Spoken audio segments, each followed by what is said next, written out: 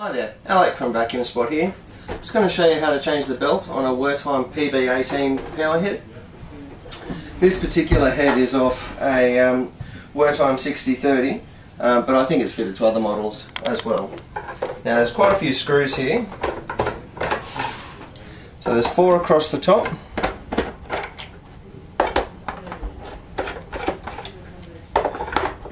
Two in the middle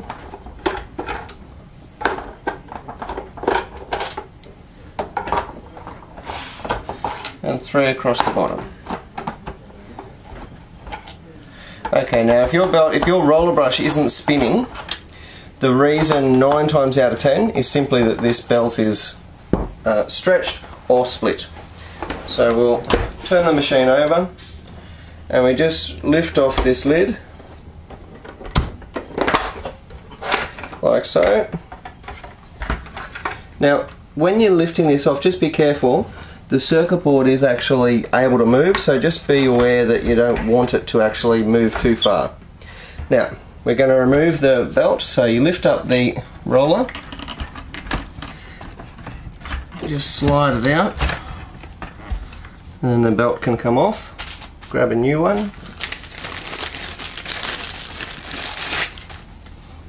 Okay so you just sorry you fit it over the shaft first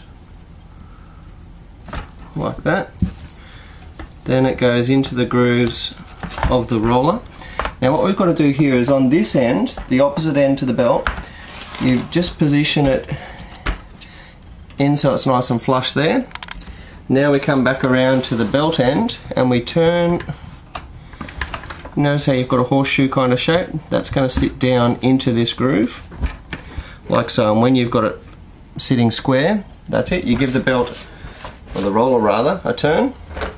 Now, underneath here, what you've got to be careful of, see these, like a, this protrusion, that has to line up exactly and, and slip into this groove.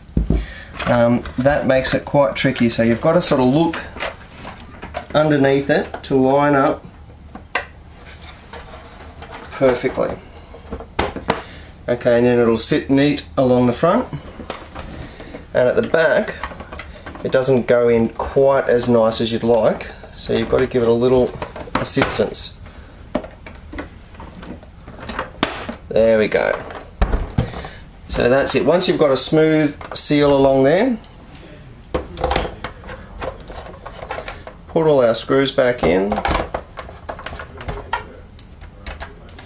And this will run like a new one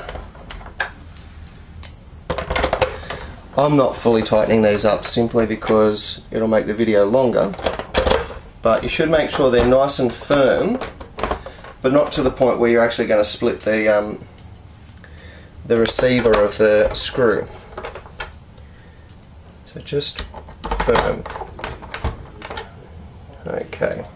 Now the belt number that I've just used is 321 00153 and it's the grooved belt to suit the PB18. That's it. Simple procedure to change the belt on a Wertheim PB18 powerhead. Thanks.